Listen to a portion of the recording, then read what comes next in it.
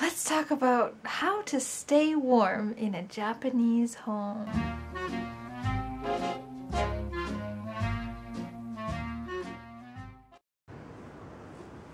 Tadaima! So when you get home, you're going to want to take off your shoes and step inside. But you don't want to go onto that super cold wood floor. So you'll need some slippers. Choose the ones you like. I have some extras for guests so that they don't have to suffer with me. Uh, and you can walk in comfort. The kotatsu.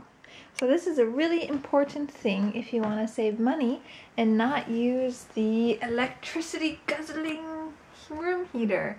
They call them air conditioners and they do condition the air to be warm but with a big expense. So I like to use the more traditional kotatsu.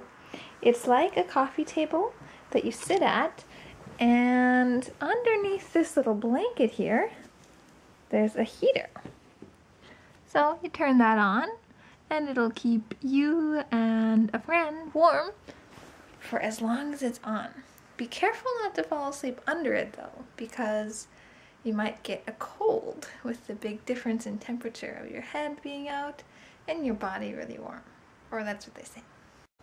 So you have your slippers and you can shuffle around the house in comfort, but every now and then you need to take them off. So here's one time that you're going to want a rug.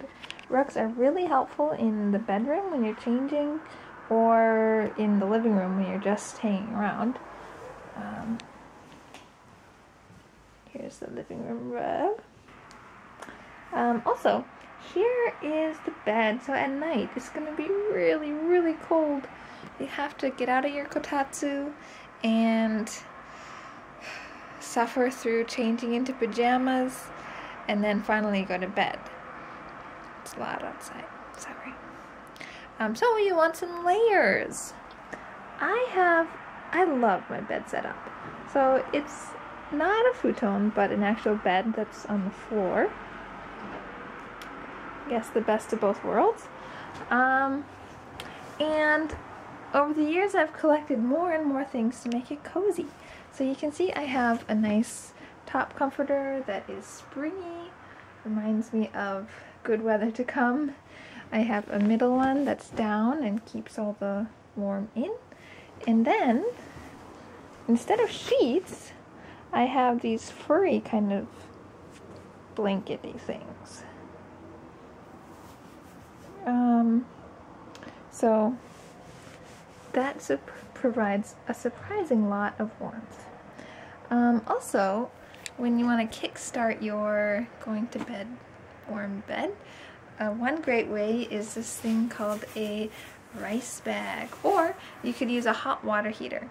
Um, so it has rice inside and you just pop it in the microwave for a couple minutes and you will have a nice warm companion for up to an hour or so.